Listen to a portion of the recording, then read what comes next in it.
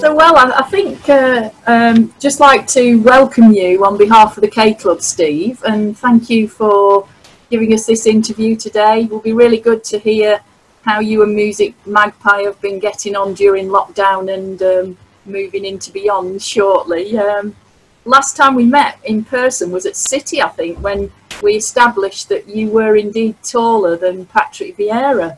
Oh, that's so. So missed opportunity there, really, Steve, because you could have played that midfield spot for City, couldn't you? I, I think I'd have had to go in goal, Sarah, rather than in, in centre midfield. But uh, yeah, I, I, didn't quite have his uh, footballing talent, unfortunately. So yeah. bit of a shame. I think he's only about six foot four, though. So obviously, you know, you, you were towering over him that day. Yeah, I was looking down on him. yeah. So I thought it might be useful for um, people listening to this, Steve, to just understand a little bit more about the Music Magpie business first, just so that everyone, I mean, I think a lot of people do know of your business, but I think that would be useful if you could just tell us a little bit about about the business. Yeah, of course. I mean, as you say, hopefully some people have heard of it, but um, I mean, others that may have heard of it just think, oh, is that the business that buys your old CDs and DVDs and games because obviously that was what we did for many years and it was all we did. But yeah, the business originated in in, in my garage. Uh, a, a, friend of mine, Walt, and I uh, co-founded it from um, basically a, a, history of uh, having retailed CDs and DVDs and games in new condition, and we realised that nobody was offering cash for CDs, DVDs, and games as people were starting to exit them uh, and move into a digital world.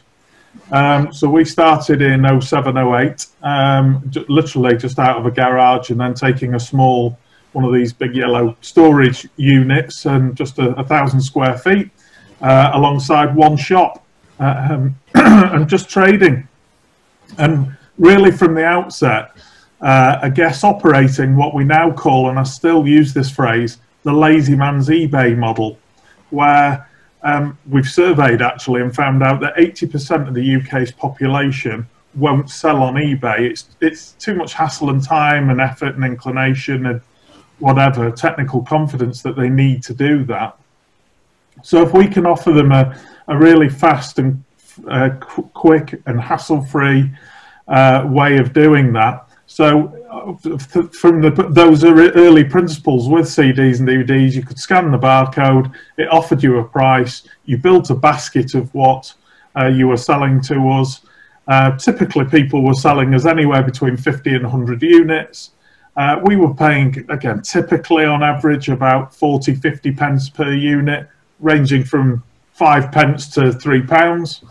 Um, and we provide the logistics for it. So you put you threw your old stuff in a box. We gave you the label. We came and got it for for you, or you dropped it off at a convenience store. And when it arrived with us, we'd check it off, make sure it was what you said it was, and pay you for it. And actually, 12, 13 years later, the business has evolved and, and grown fairly significantly since those days. But that's very much the principle uh, of the business model. I guess where we've evolved in recent years is in three or four different directions, but a few years ago, obviously recognizing that CDs and DVDs did only have a certain uh, lifetime uh, left in them, um, we introduced consumer technology into the product mix, and now we are the UK's biggest uh, mobile phone recycler. But it's much the same principle of when you're selling to us, you go on, tell us what phone you've got, what condition it's in. We offer you a price. We come and get it from you. The day it arrives with us, we'll pay you the money into your bank account. So very much, as I say, that sort of hassle-free, easy, lazy man's eBay model. Um, and I guess that's what most people know us for, whether it is on the physical media side or the consumer tech. Great business, and um, I was thinking probably, if anything, you've seen busy times, have you, um, Steve? Those have been your challenges, or, or what have the challenges for you and the business been as you went into lockdown? Even? Yeah, um, absolutely. Our challenge was very different to, I, I would say, most other businesses. And, and in some ways, I've, I've wrestled with that with a little bit of guilt and embarrassment about, you know, so many poor businesses were struggling with the uh, the pandemic and all the restrictions on business that it brought and changing of consumer be- behaviour. But I guess as well as people wanting to sell to us whilst they were at home, they had time, they wanted to declutter. Obviously, maybe they did want some cash for their old uh, stuff, but actually, uh, the reselling of all our products, so uh, everything we buy from a consumer, we re- refurbish, make it look like new. In the case of a, an item of consumer tech, put a 12 month warranty on and resell it back to consumers. So if we now think about both sides of the business, physical media, CDs, DVDs, games, and in particular books became extremely popular with people being at home, uh, looking to be entertained. Um, actually, the streaming market is quite fragmented these days in terms of you need Netflix, Sky, um, um, uh, Disney Plus, BritBox, um, you know, you, you actually have all those different streaming alternatives. So people buying a film for two, three, four pounds from us became very popular again. Um, books, uh, as I mentioned before, our book sales have trebled in the last three months uh, as people have returned to enjoying books and having more time to read. But I guess that was only um, 30 or 40% of the story. By far, the biggest side of, uh, of, our business now is that consumer tech. And of course, people are now working from home and looking to stay connected with their colleagues and workplace. And actually, the sales of phones, tablets, laptops, and games consoles, uh, back to the entertainment piece, absolutely went through the roof. And uh, frankly, for us, the challenge felt like holding on to the racehorse, not swamping our operations. I mean, keeping our operations going throughout this whole pandemic period, especially if you think back to those early weeks um, uh, uh, when everybody was very uncertain and very unsure about who should be open, who shouldn't, are we safe, are we even safe to leave the house? So we did a lot of work in the operations. The government did actually not only allow online retail to stay open, but it encouraged online retail to stay open. Um, so from those early days, we were extremely busy, um, and you know, mercifully, and, and, we do feel blessed for it. Very lucky um, to, to be in this position where we have traded very well throughout it. During that time, Steve, were there any particular challenges for the business or for you? Maybe some surprises in, in there when, as you were sort of getting the team together and getting everyone sort of ready for for what you presumably thought might be an upsurge. So.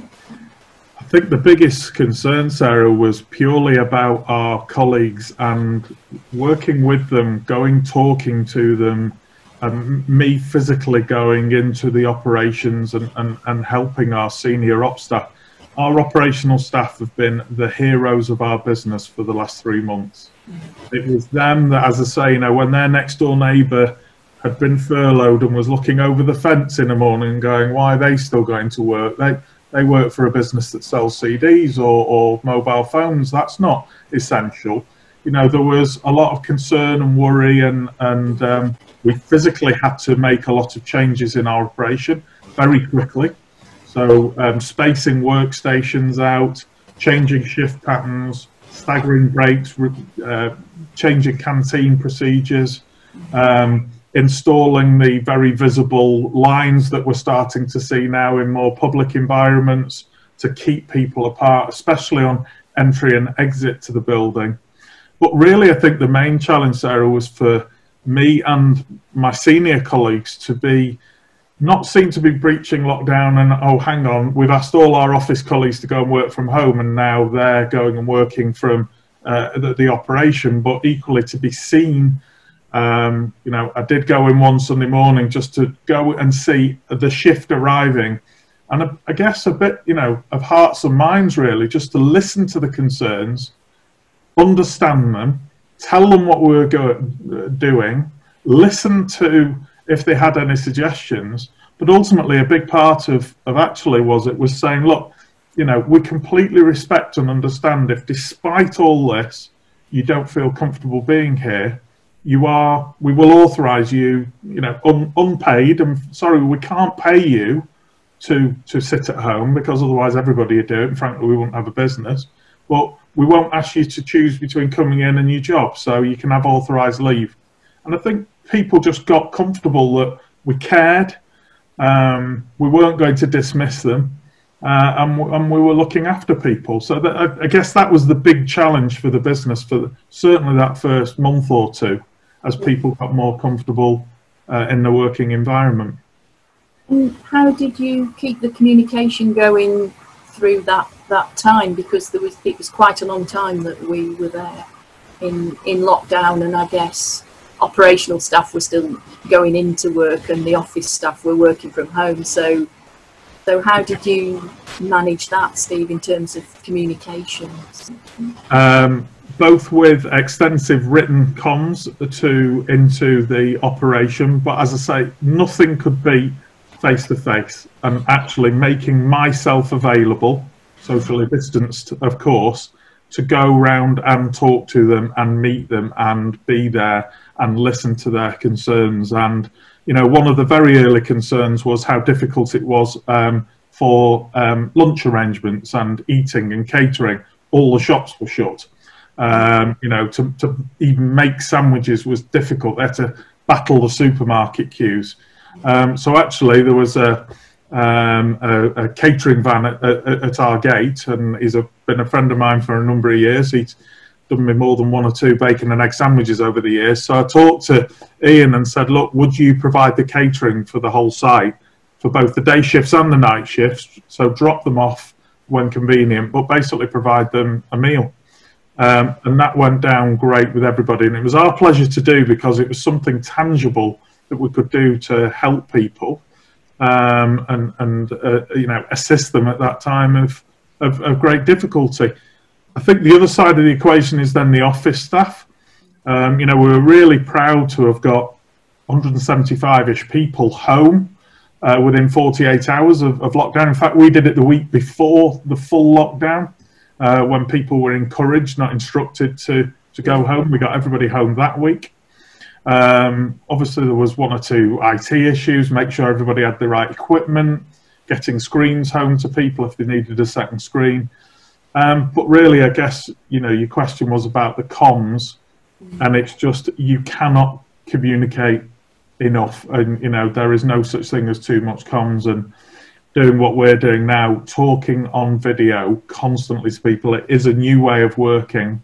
And that includes once a fortnight uh, we have a company wide. So everybody dials into Zoom and they'll hear from me for 20 minutes or so, just giving a company update, where we're up to, what we're working on, how it's going, what, you know, what this week, what next week, talking to them about what the future might look like as we're now into this recovery, maybe moving back into the office, thinking about that stage, but just regular comms with the team. And they've really, really appreciated that. Well, I hope they have uh, that is the feedback we're getting.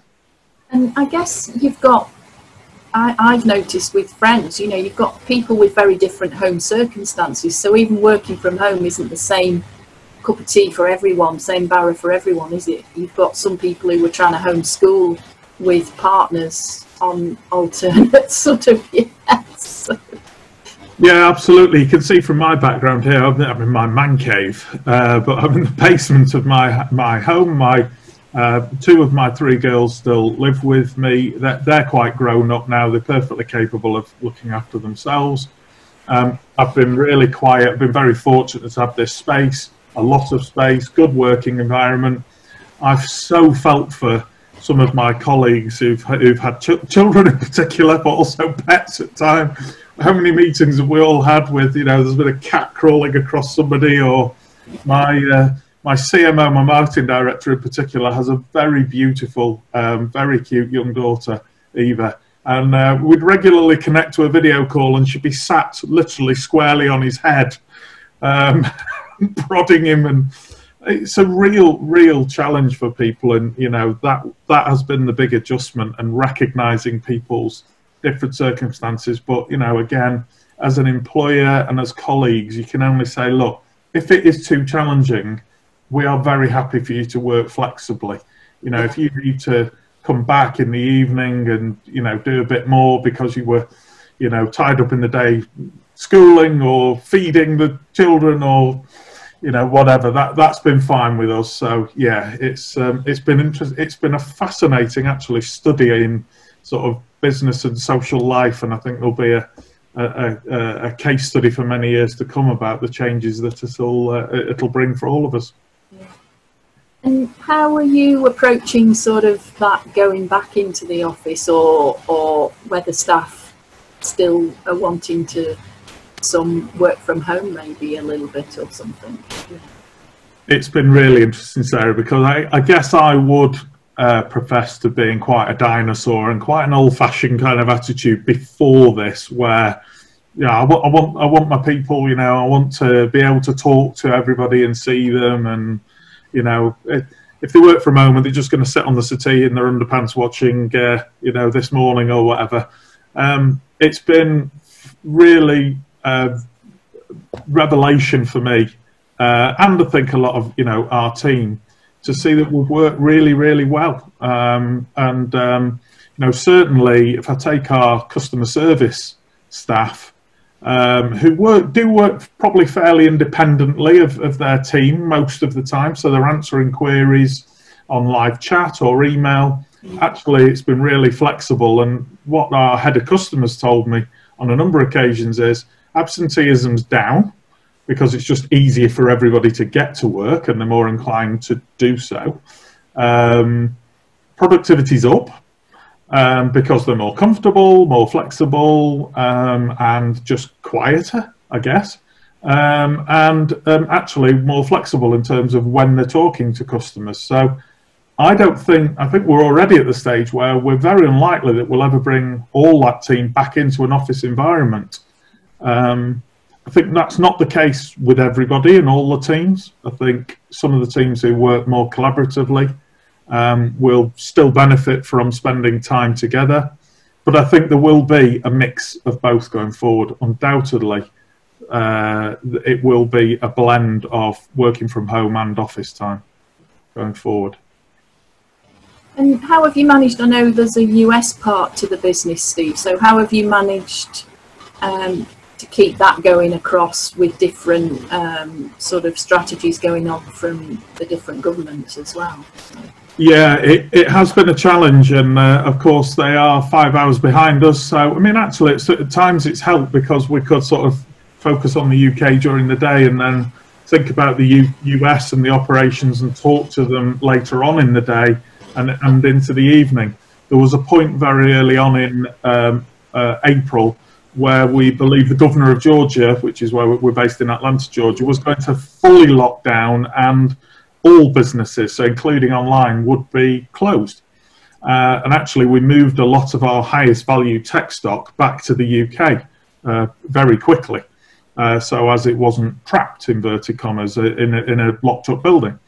Um, but actually, that didn't happen. We had to stay abreast of, of what the news was over there, try and watch as many of the conferences. Obviously, we've got a management team over in the US who do a wonderful job for us, very trusted, very hardworking um, folk over there, and a lot of reliance and trust placed in them. Um, unfortunately, obviously, we can't geographically visit them, and I don't suppose we're going to be able to for some time yet.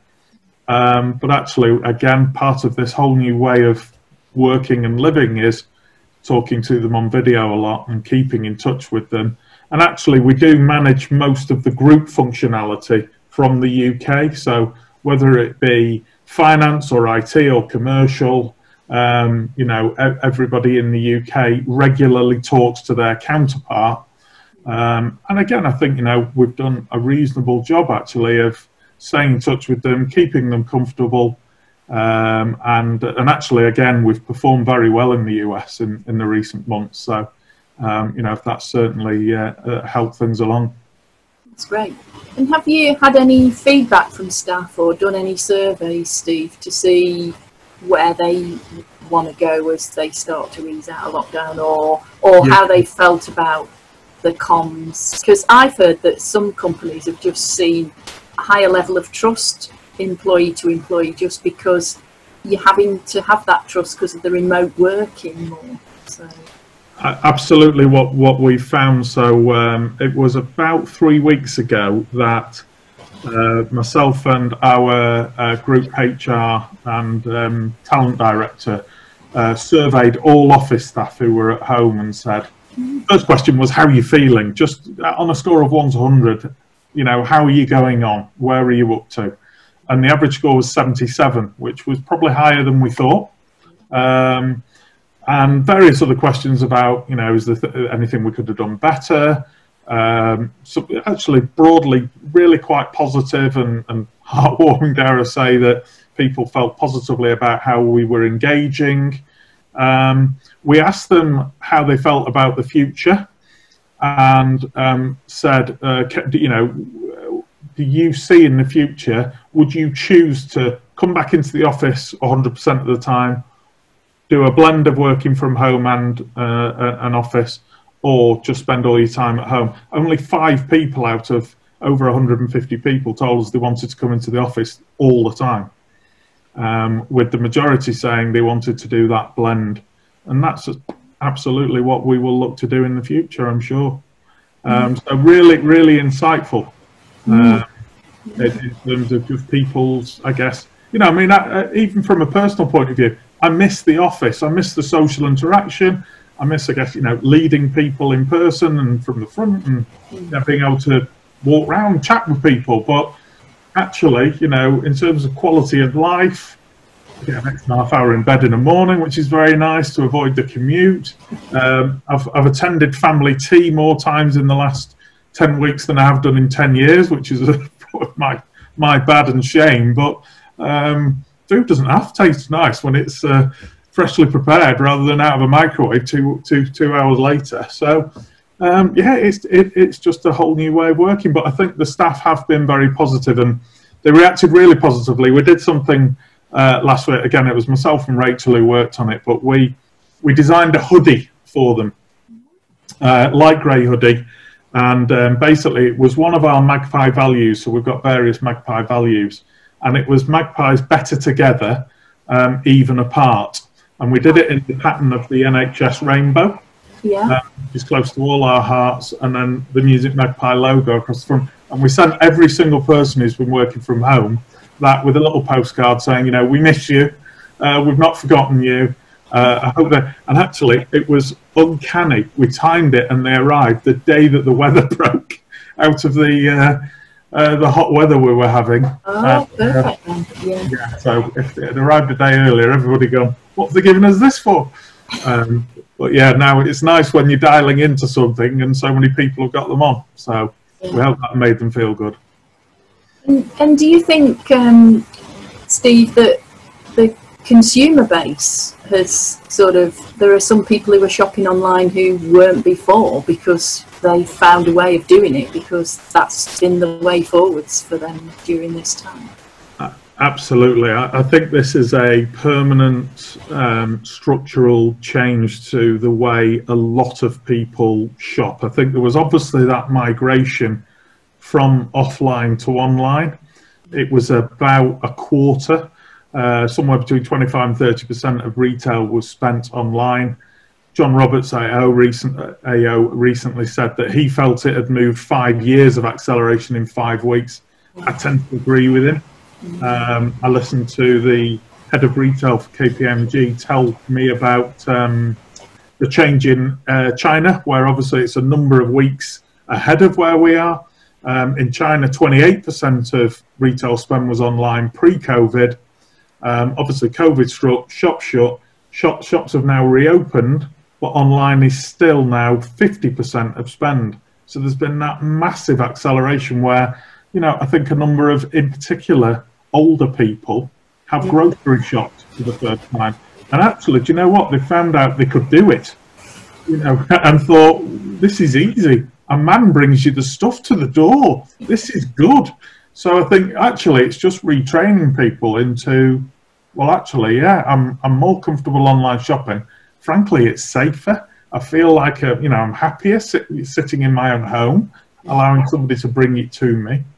Um, so yeah, I think I think this is a you know a real acceleration of that shift from offline to online, and, and you know I say that with some you know that's really positive for our business, But I'm a retailer by trade. I grew up in a shop. My dad had me behind the counter when I was 11, 12 years old. My heart really bleeds for the poor retailers who were already really challenged, and this is, you know, another significant challenge for them. Yeah, I, I guess it will for them just be trying to find that experience, and it's got to be a safe experience, hasn't it? So that they're the challenges. Absolutely, and I think so much hinges on that social distancing measure. You know, I've I've sat on the Stockport Resilience uh, Economic Resilience Board, and we've met two three times a week, and we've been hearing from the hospitality uh, folk who, you know, two meters. You know, I'm a great. We've you know done nothing but talk about protecting the NHS, and you know, run the scheme to raise money for their charity, but. Um, we have got to now think about the practicalities of life in if this stays at two meters no hospitality service can can operate viably with with that in place. So you know i think we've got to think really long and hard about that now about actually can we make that a meter um, and, and and at least give uh, pubs bars and restaurants half a chance at, at being valuable uh, viable you just mentioned there um, your charitable fundraising, Stephen. I remember when we first met, it was with regard to a charitable aim, for yourself and Music Magpie. So, are you still then um, doing something on that charitable front with, with the business? Yeah, very very much so actually. And actually, I mean, uh, our great performance during this period has, has allowed us to do that, and and and uh, you know, it's been a great pleasure and pride for the business. We have done further activity with um, City and the Community actually, and um, a few thousand uh, children's books, uh, uh, distributing them into their uh, children's charity partners. But the main initiative that we've done is um, with the NHS charities together. So early on, we uh, decided really simple scheme, and we just said, look, for every tech item that we uh, buy, and another pound for everyone that we sell. We will give a pound. So everyone, every item into the building and every item out, we will give a pound. Um, and so far, I think the running total as of this morning was over £140,000 that we've raised since the start of April. We're going to run the scheme until the end of June. We're hoping we can get that over £200,000. Uh, pounds. we pay over every Monday morning based on the previous week's results, and it has become a source of great pride uh, for all of the business. Everybody's got behind it. We sort of have a Blue Peter sort of old-fashioned uh, barometer of uh, where we're up to with the fundraising. So um, it's it's been you know real heartwarming stuff to see how much people. We've also allowed customers when they've sold to us, if they chose, to get donate their money uh, to the same cause as well, which has topped that amount up, which has been brilliant. So if anyone's listening to this and um, wants to go to Music Magpie, they can be, be, helping with, you know, if they're going moving house, decluttering, or whether they're looking for tech, then um, then they'll be contributing to that charitable effort. Yeah. yeah. every single item, tech item that they sell or buy, we will be throwing another pound into the uh, into the initiative. So, um, yeah it's been it's been great, you know, to, to uh, you know, as I say, just general source of, you know, at times like this, we all have to pull together, and whether it's as businesses, as people, as charities, you know, we are looking as well at how we can support more local charities. You know, we work with um, Wellspring in Stockport, the local homelessness charity, uh, in trying to support them. Uh, we've donated um, over 200 tablets now into health authorities uh, and and uh, care home environments where obviously you know with the visitor restrictions a lot of that communication has been through tablets and um, supporting hospitals do that. So it's um, yeah doing what we can really yeah. um, at, at, times of need. I'm sure that's very motivational for the staff um, of Music Magpie as well? Because you can you can see you know that your business is really supporting charitable effort locally or NHS. It's it's amazing. Yeah, we, I mentioned Magpie values earlier on. The first and foremost, uh, we always talk for many years about being a magpie. And uh, dear Lorraine, who sits on reception at Magpie for many years, she is the quintessential magpie in many ways, but she defines what magpie is. And but we'd never actually written it down and said, well, we always talk about somebody's a magpie or not magpie. And actually, if somebody had said to me, what's the first quality about a magpie? Somebody who works for magpie, I would say it's it's they care. Four letter word, really simple. Magpies care. And that is the key word here with what we're doing. They care about each other, they care about the business, they care about the community, they care about the environment um, and, the, and the customer. So all those things together, and I think that's what this initiative encapsulates in many ways. And um, if you had to pick one key learning point as a leader that you you know could be you'd take out of the whole experience of, of lockdown and managing the business um, through that and coming out the other end as well, Steve? What what would it be? Would you would you think? Um, I think um, I go back to that kind of being seen to uh, lead from the front, be visible, um, be accessible. Mm-hmm. you know, everybody in the business is encouraged to um, email me. We have all sorts of um, communication forums. We're all on Teams. We've we've got Yammer for some of the more social stuff and the more informal stuff.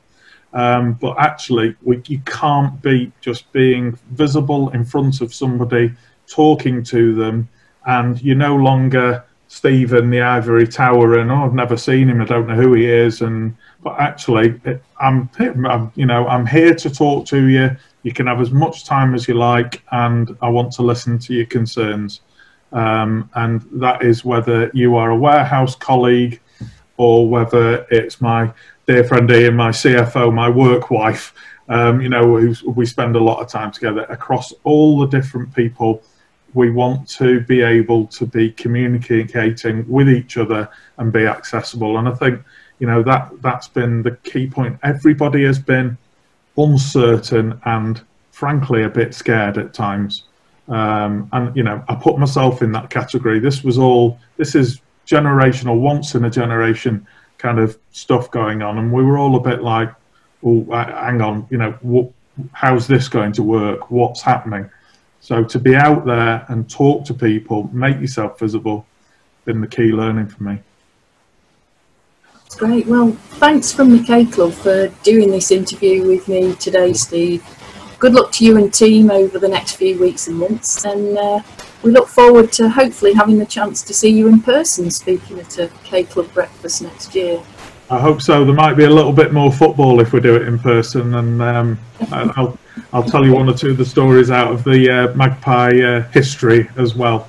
But uh, yeah, obviously good to talk today about sort of the the learnings and the key bits of what's been going on in the last three months.